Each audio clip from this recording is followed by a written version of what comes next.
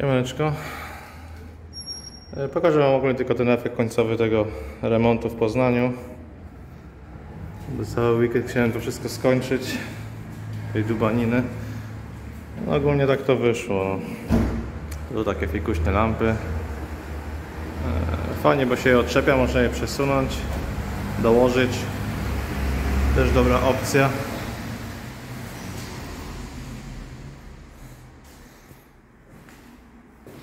A to tam cztery ściany na krzyż. Jakieś takie tam. No, już jakieś ucha się bombała. Eee, listy, no jest jakieś tam, nie wiem, XPS, coś. Alternatywa tego MDF-u, ale fajnie się je kładzie. Teraz rzadko siedzę w remontach, to może to już starość. Tak, białe drzwi, no drzwi akurat były pokojowe włożone, także inwestor sobie kupi klamkę i zamek. No więc tak mówiłem, no co, przełącze zrobiliśmy tutaj jakiegoś aneksu. Może będzie jakiś... Ale taśmę jeszcze nie zerwałem. Muszę zerwać taśmę. Jakiś salon czy coś. No i łazienka ogólnie wyszło coś takiego. Grzejniczek na prąd. Płytki tylko ta kabina.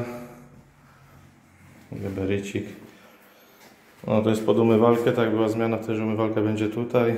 Może pod umywalką będzie jakaś mała pralka, teraz nie wiadomo, bo tu tej rury już nie wkowałem, bo tam sąsiad zaraz cienka ściana była. Także ile nam się udało, to się schowało, tu i tak przyjdzie jakaś zabudowa, szafa czy coś. Nie będzie tego widać. Grzejnik elektryczny. No, malutkie to.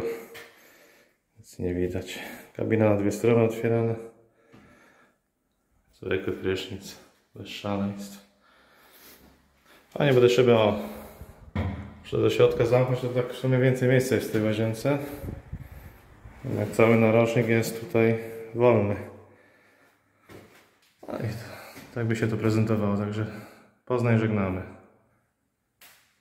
Do miłego, pozdrawiam.